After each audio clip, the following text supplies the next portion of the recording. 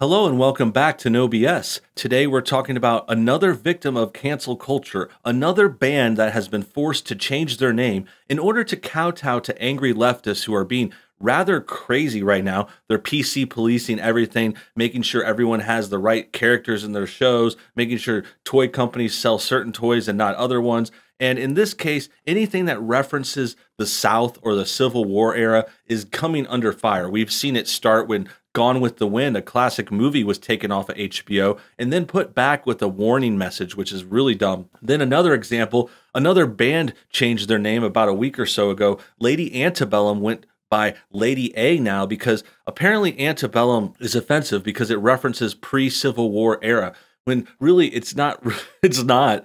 And that's what's similarly happened today's band is the Dixie Chicks. The Dixie Chicks are a long time another country based group three girls singing their hearts out, have some really great hits back in the day too. But nowadays, not so much. They've kind of fallen off. They're kind of old hat now, but they're trying to get relevant again. That's the other side of the story too, because not only are things getting canceled by leftists and outrage mobs and people complaining, but also now people are like canceling themselves preemptively like to try to make sure that they don't get canceled and then also they're trying to like get woke points by confessing and saying, I'm sorry, I'm wrong, I did it. Our name was wrong. Love me again. You know, like they're trying to do it as a publicity stunt. And that's the way I see this Dixie Chicks one. It goes by this. It goes, the Dixie Chicks changed their name to the Chicks.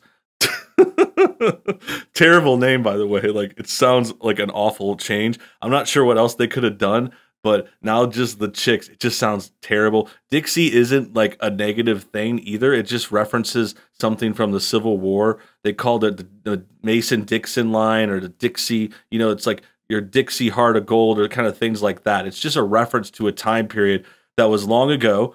And yes there was racism back then and there was bad things and you know terrible things happening but 150 years ago is a long time. So the fact that some people have names that might coincide with something that happened during the Civil War. It's just ridiculous to go back to it that way and to take it that far. But that's what this band's doing. Like I was saying, they're kind of washed up. They're getting older. People don't remember them much anymore. I'm not sure if you guys even heard of the Dixie Chicks. Like to me, they're like a band that was popular like 20 years ago or something. I'm not even sure when their last hit was, but they're still good. They still had some decent songs, like good rhythm, good uh stuff like that. But the fact of the matter is, this is a publicity stunt. I'm not sure anyone was calling for this. I did hear that this was coming. Like once Lady Antebellum went down, Dixie Chicks was next. Like a lot of people saw this coming, and now they're doing it. And then look, surprise, surprise, they're coming out with a song too. They're topping this announcement and saying, "Hey, now buy our new song."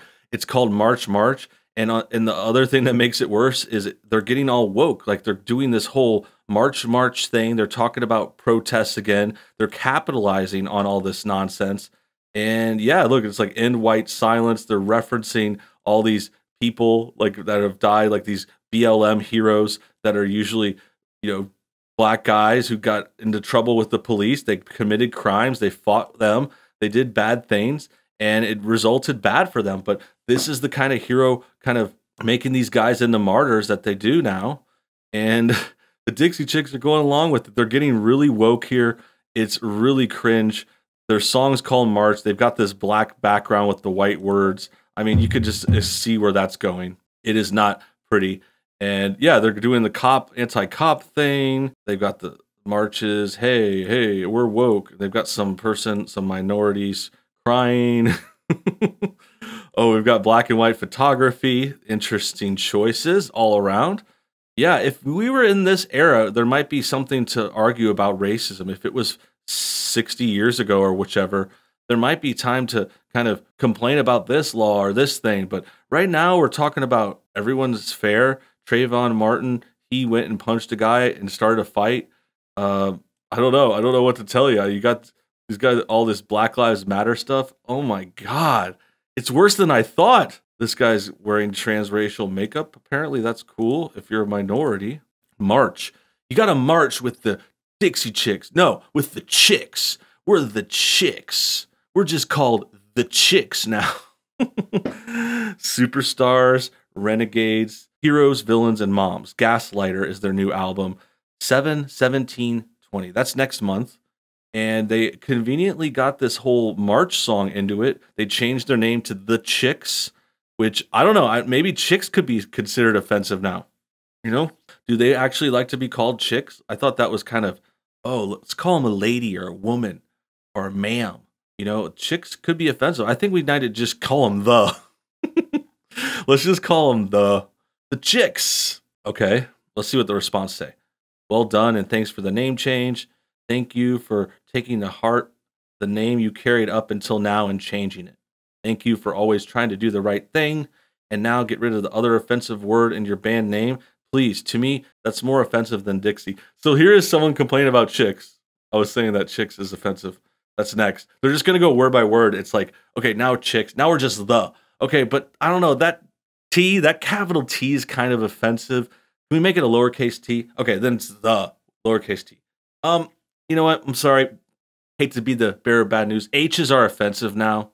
You know, just, just can, you get rid of the each? Okay, then we're TE. We're TE. No, that T looks like a cross. We don't like religions. All right, we're E. The band is called E. Trump stinks. I've been a fan since the first album, and I saw y'all a couple years ago in Dallas. Um, okay. They'll always be the Dixie Chicks. Yeah, I think the name change is kind of, you know, they're still the Dixie Chicks. They're just like officially, you know, what they put on their album and what they put on the poster is the Chicks. But everyone knows the Dixie's still there. Like that's how I felt about the Lady A name change. Like, okay, it's still Lady Antebellum. Like Lady A is just initial for it. Like it's kind of like to me, honestly, it reminds me of Puff Daddy. Puff Daddy had to change his name one point because Puff kind of kind of got out of style and he didn't want to be related to it, so he went by P Diddy. And you know, he was still Puff to me though. He's still Puff.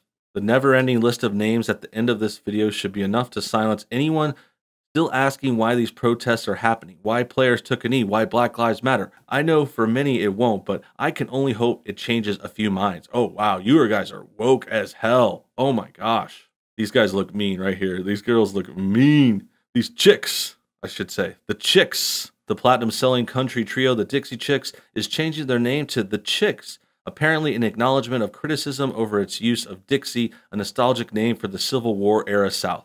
So now we're deleting more of our history too. That's another point here. That's another very Marxist, like communist style. It happened in Venezuela um, not too long ago, like 15 or 16 years ago. Socialists rose up, they tore down statues, they took away stuff from the history books. They didn't allow certain movies to play. Art was under attack too. And that's what's happening in America now. These things are coming down along with our statues, anything related to the South. Everything in the South is being condemned. But the thing they don't realize is not everyone in the South was a super big racist. Like, I don't get this idea. Like, not everyone in America is racist. Like, that's the whole implication was, oh, well, the South had slaves back in the day. Well, you know what? There's a lot of people in the South. They didn't all have slaves. Like that was actually a very small group where very rich people, like you had to have a lot of money and a big like farm plantation to have that kind of situation. So not everyone in the South had that. Like it's okay to just have pride for your region, even if your region had some kind of blemish in its history. Uh, granted, this could be considered a very bad blemish. I'm sure it is. I'm not against it. Like I totally am for freedom and people being able to have jobs and get paid and not have to work for free. Like that is bad. But the point is, not only did no like a small percentage of people in the South had this issue, but also everyone in the world had this kind of labor system. Like slavery was prevalent across the globe, like all over the place. I don't see why the South in America gets crapped on so much. I mean, I can figure out why. It's pretty obvious we're so popular, it's such a big country. Everyone wants to get here. So there's that gives you a lot of enemies. People don't like the people on top. They're always going to tear down the king or the president or whoever's the leader or the top country in the world. It's going to get a lot of flack. And this is just like a lot of foreign influence here. They want to tear down America. We've seen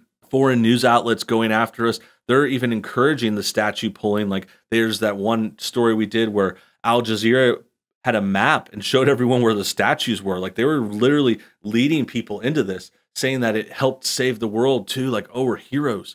And now this is a kind of pop culture reference, a kind of terrible story about this band. I mean, I'm not going to lose sleep over it. Like, I'm not a Dixie Chicks super fan or anything, like I'm not a big fan of this band. I'm not losing sleep over it. I actually like Lady Antebellum a little bit more. They're more modern and have a better mix of music to me, but it's still hurtful. You know, it's still like, oh gosh, everything is going down. Like the chicks are going down, and it's just real, real funny to watch. We see this new name confirmed. We want we see it happening all over. It's going to just keep happening. At the end of the day, this is a publicity stunt. They're trying to sell a new album. They're trying to virtue signal. And the other thing I would point out is don't they realize there's like a contradiction? Like if you change your name right now, it's saying that your name was something before. Like they're trying to kind of say, "Oh, it kind of was racist." And they had that name for 20 years. So, are they racist? Like is that